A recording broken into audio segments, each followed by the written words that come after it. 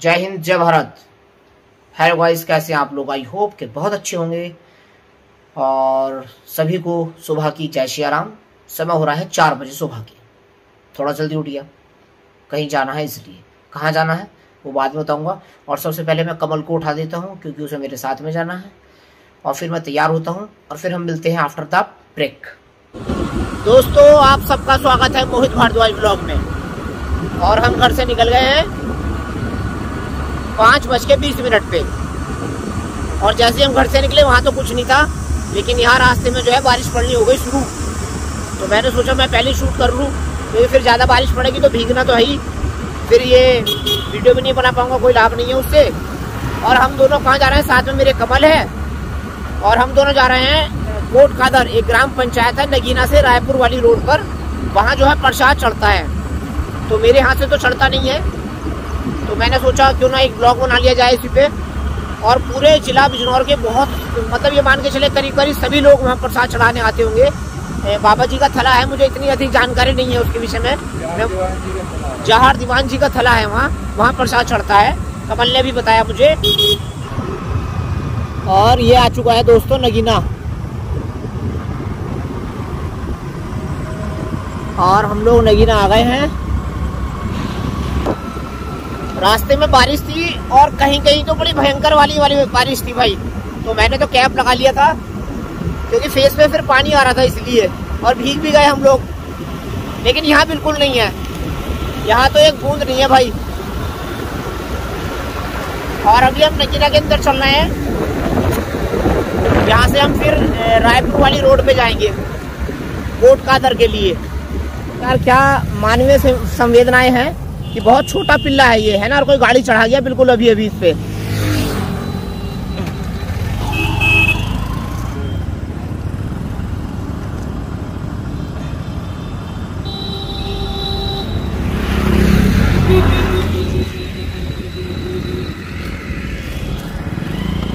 उससे जानवरों के प्रति ये चीज़ें नहीं देखी जाती हैं। मुश्किल से मुश्किल, अभी तीन माह का पिल्ला नहीं होने का ये। और यार गाड़ी तेज चलानी चाहिए, इतनी भी तेज मत चलाओ, किसी की जान चली जाए। इसके सिर पे उतरा है पहिया। चाहे टू व्हीलर का उतरा हो या फोर व्हीलर का उतरा हो, लेकिन इसके सिर पे उतरा मर गया हैंड टू हैंड यार बेचारा यार। अभी अगर मैं किनारे नहीं करता तो फिर इसकी जो है दुर्गति होती डेड बॉडी की। गाड़ियाँ उतर उतर के जाती। भगवान इसकी आत्मा को शांति दे भाई। और दोस्तों, ये नगीना का मुख्य चौराहा है। अभी आगे की ओर बढ़ेंगे हम यहाँ से। और यहाँ से ये वाला जो लेफ़्ट टर्न है ये ये चला जाता है कोतवाली के लिए, कोतवाली नजीबाबाद। आप ये रेलवे क्रॉसिंग क्रॉस करेंगे तो कोतवाली और ये पीछे वाला जो है, वो नगीना के लिए है और यहाँ से है ये बढ़ापुर वाला। बढ़ापुर रायपुर, आगे से भी दो जगह दो जगह रास्ते जो है विभाजित हो जाएँगे।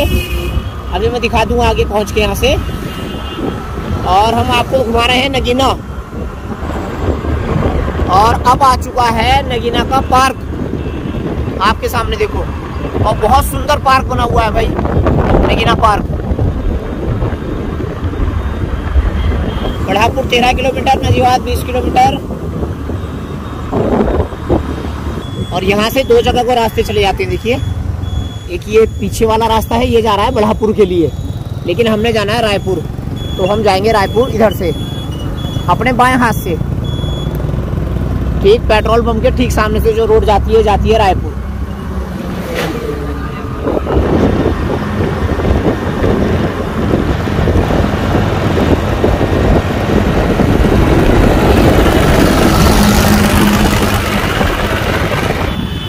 और दोस्तों, जब हम इस वाली रोड पे जो नगीना से आ रही है, जब आगे की ओर बढ़ते हैं तो देखिए, ये यहाँ आके दो जगह रास्ते विभाजित हो जाएँगे। चलो कमल, पीछे ट्रैक्टर है फिर। एक रास्ता तो ये जा रहा है नजीबाद के लिए, बूंद की सुगर मिल होते हुए।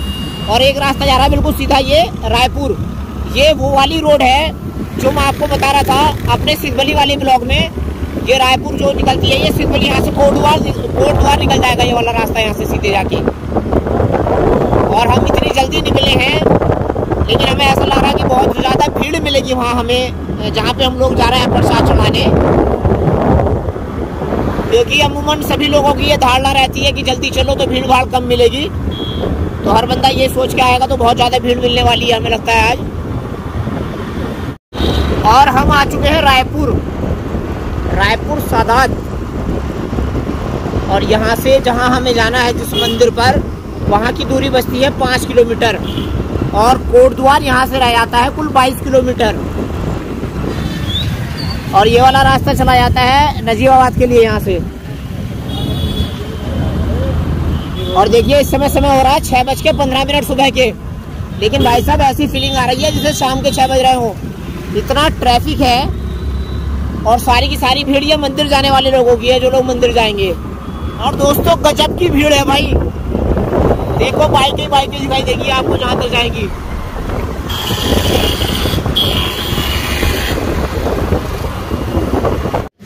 और हमें यहाँ रुकना पड़ा है बारिश की वजह से। रायपुर से आगे निकलने के बाद में ग्राम पंचायत है चंदन वाला क्योंकि बारिश बहुत तेज हो रही थी तो हमें भीगना अच्छा नहीं समझा, फिर वीडियो शूट नहीं कर पाते हम। और इस समय छः बज के बीस मिनट सुबह के। लेकिन आपको अगर हम सड़क पे दिखाएँगे तो इतना रश हो रहा है, ऐसा लगेगा भाई कि शाम के छः बज रहे हैं। बहुत ज़्यादा भीड़ जाने वाली है। एक बार आपको बाहर का व्यू दिखा देता हूँ। और ये देखो बारिश हो रही है यहाँ। अब अगर घर पे होते तो हम नहा भी लेते भाई बारिश में, लेकिन यहाँ नहाना ठीक नहीं है हमारे लिए। और ये सभी लोग जो है, वहीं कोट कादर मंदिर पे जाने वाले लोग हैं। बारिश से बचने के लिए खड़े हो गए, देखो।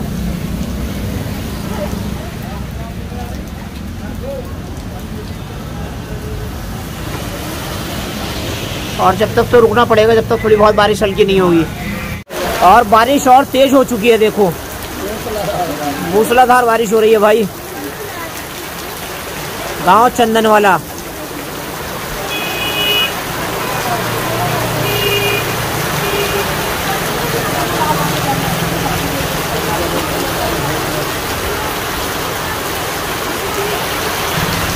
विजिबिलिटी कम हो चुकी है तो उसके लिए लाइट ऑन करनी पड़ गई सबको अपने अपने बाइकल की।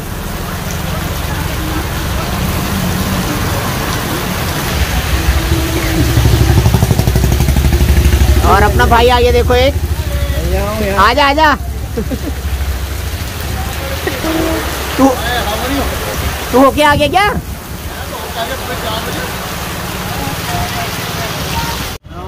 और हम लोगों ने मेरे साथ कमल आया था। और हम लोगों ने आगे जाने का जो अपना कार्यक्रम था उसमें बदलाव कर दिया। हम मंदिर तक नहीं जाएँगे क्योंकि बारिश बहुत तेज हो रही है और जाम लगा हुआ है लगभग तीन किलोमीटर पहले से। मैं भी आपको बाहर का दिखा देता हूँ। और अगर हम अंदर गए तो मुझे तीन किलोमीटर फिर पैदल चलना पड़ेगा। फिर मुझे समस्या होगी। और इसको ऑफ़िस जाना फिर ये लेट हो जाएगा। मैं बाहर का एक बार व्यू दिखा देता हूँ। देखिए आप क्या, कितना बुरा हाल हो रखा है यहाँ। और आप जाम देखो कितना है भैया यहाँ। बहुत दूर तक का जाम लगा हुआ है यहाँ। अभी तो स्टार्टिंग है। और अभी स्टार्टिंग है भैया, कह रहे हैं इन्होंने पार्किंग बना रखी है यहीं पर ये। और देखो यहीं से गाड़ियाँ यहीं पर खड़ी होनी शुरू हो गई है ये। अब अगर हम आगे गए तो हम फंस जाएँगे फिर। और फिर निकला नहीं जाएगा, यहाँ पैदल चलना पड़ेगा। और वो भी बरसात में ऐसी।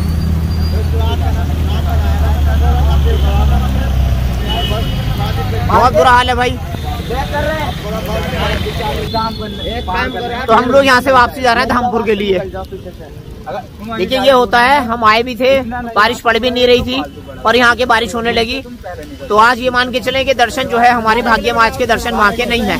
और जो हम प्रसाद लाए थे, वो हमने एक सज्जन को दे दिया, उनसे कह दिया, आप चढ़ा देना इसको। तो हम लोग चलते हैं यहाँ से पीछे की ओर। क्योंकि बहुत बुरी बारिश है भाई, बहुत तेज बारिश हो रही है आज।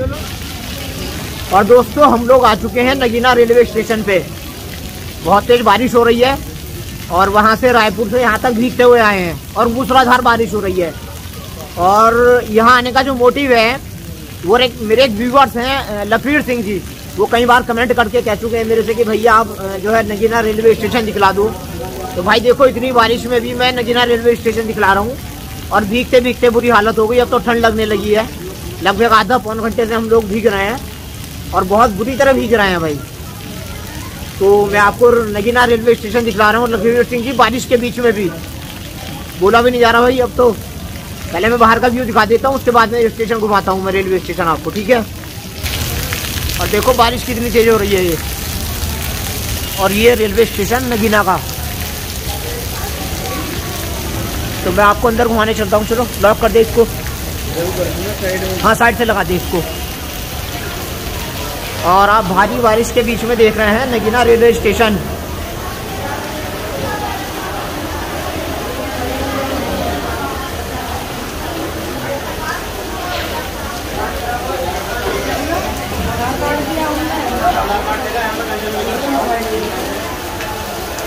और यहाँ जितनी भी भीड़ है, ये सब लोग यहाँ जो कोट कोट कादर में प्रसाद चढ़ाने वाले आए थे, उन्हीं की है, देखो ये।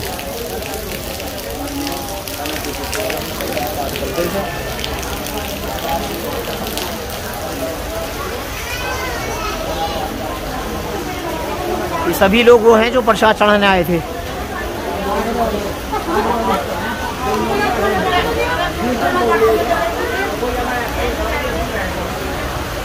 और नगीना रेलवे स्टेशन भी जो है बहुत पुराना बना हुआ है।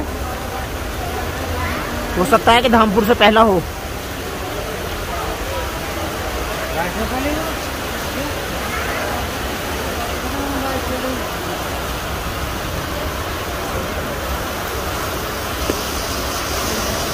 और शायद कोई सी ट्रेन आने वाली होगी। कमल, समय क्या हो रहा है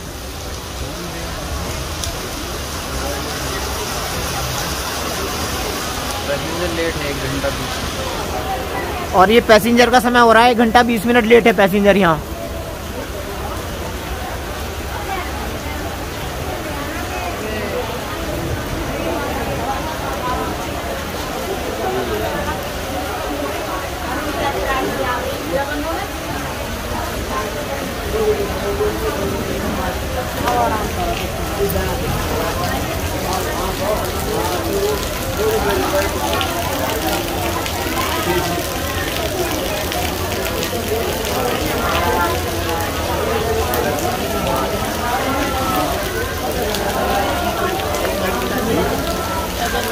बारिश में भीगते भीगते बुरी हालत हो गई भाई हमारी तो आज। और लगभग अभी 20 किलोमीटर की दूरी और तय करनी है धामपुर जाने के लिए यहाँ से।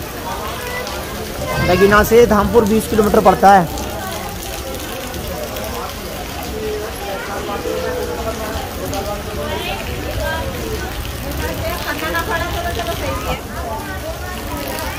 ऐसी बारिश में तो बना भी नहीं पाएँगे और कहाँ जाएँगे, क्या बनाएँगे हम लोग?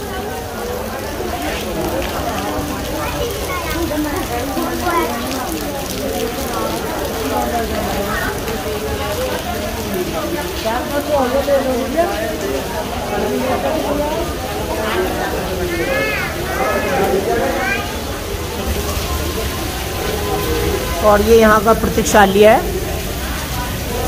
देखो आप। और बारिश कम नहीं हुई है और तेज हो चुकी है पहले से भी।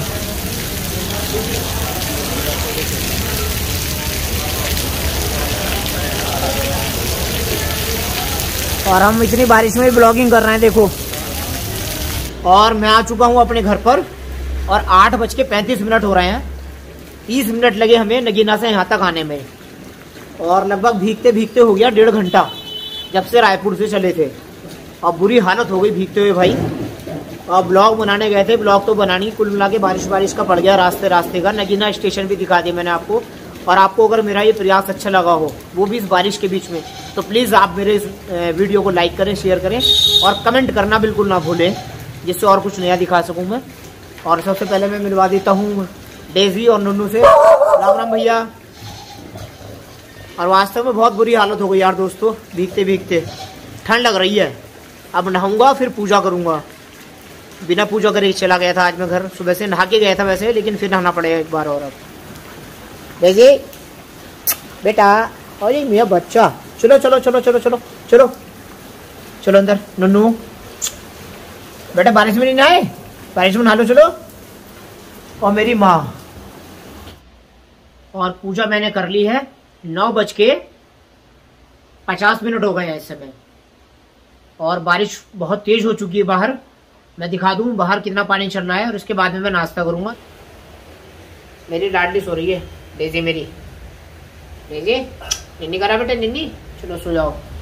और नुन्नू कहाँ है मेरी? ओह। लो जी भाई साहब, सड़क की तो नदी बन गई। पानी आया था सड़क पे, यहाँ देखो आप, बारिश में। अरे शदाब क्या हाल? देखो आप, कितना पानी बह रहा है सड़क पे। आज पूरा दिन बारिश पड़ेगी ऐसे ही। बाहर तो बड़ा बुरा हो रहा है भाई बारिश।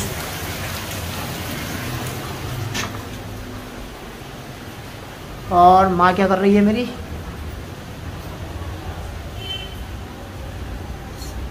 अरे, मेरे लिए नाश्ता बना है जब बनना है बारिश में। देखो। और ये बिल्कुल घर के जबे हैं, माने बनाए थे। हम लोग मार्केट के जबे नहीं खाते। ये ड्रेस चेंज कर लेता हूँ, दूसरा नॉर्मल कपड़े पहन लेता हूँ, है ना? उसके बाद में फिर मैं एडिटिंग करूँगा, और ये वाली वीडियो आ रही है शाम को छह बजे मेरी। ठीक है जी? तो मैं आज्ञा चाहूँगा। जय हिंद, जय Bharat take care bye bye